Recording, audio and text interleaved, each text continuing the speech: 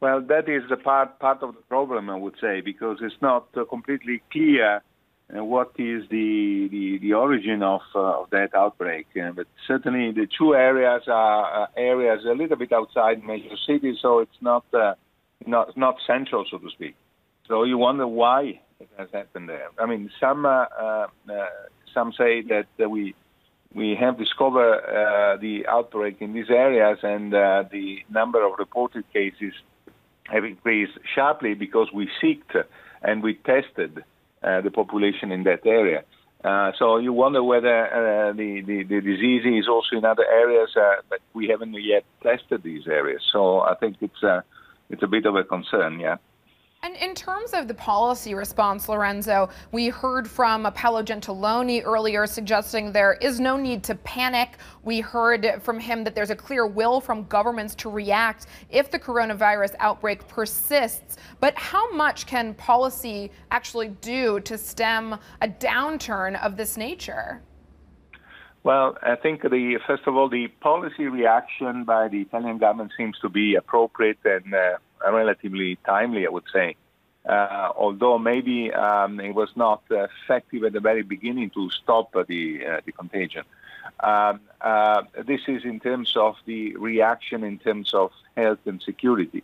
Uh, in terms of the policy reaction uh, uh, to support the economy, um, the problem is that this is mainly a supply side story. In other words, uh, leaving aside some disruptions in uh, tourism and uh, you know, the economic activity due to a collapse of the of demand, uh, uh, the main uh, problem is really related to the supply chain. So this can definitely disrupt the supply chain globally and specifically in some areas. And, and there's not much that both fiscal and monetary policy can do to restore supply side stories.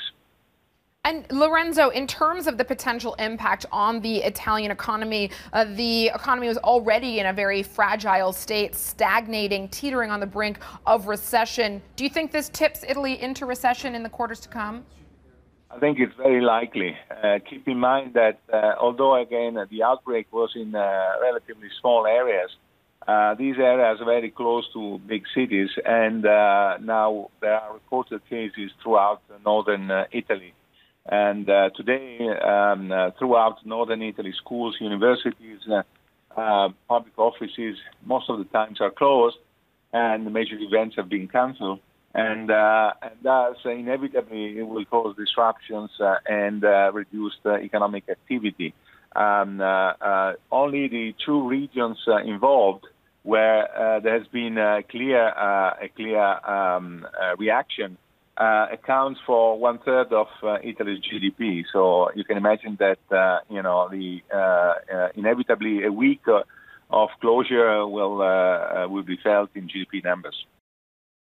Hi, I'm Joumanna Bercetche and thank you for watching. You can check out more of our videos by clicking on the boxes on the screen. And don't forget to subscribe to our channel for more from CNBC International. Thank you for watching.